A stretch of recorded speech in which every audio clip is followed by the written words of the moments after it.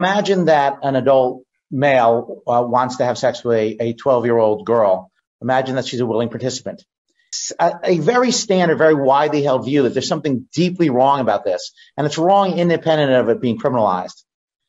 It's not obvious to me that is in fact wrong. I think this is a mistake, and I think that exploring why it's a mistake will tell us not only things about adult child sex and statutory rape, but also about fundamental principles of morality.